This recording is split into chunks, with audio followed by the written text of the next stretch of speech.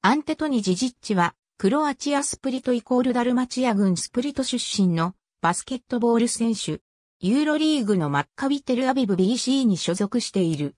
ポジションはセンター。2012年に国内リーグの KK スプリトでプロデビュー。2014年に KK、チボナに移籍し、ABA リーグにも参戦。同リーグで平均7.4得点0.3アシスト0.3スティール0.9ブロックショットを記録。2015から16シーズンは平均12.7得点7.2リバウンド1.2ブロックショットを記録。ユーロカップでも活躍し、ベスト5にも選出された。その後2016年12月にトルコのダルサファカイスケート契約。ユーロリーグにも出場した。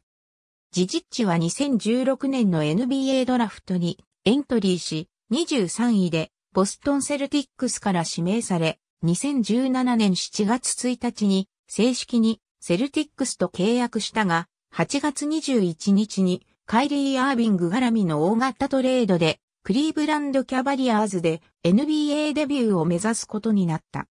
2013年からユース世代のクロアチア代表に招集され、2014年のファイバーをマイナス18ヨーロッパ選手権で銅メダル、2015年の U-19 ワールドカップでは銀メダルを獲得した。ありがとうございます。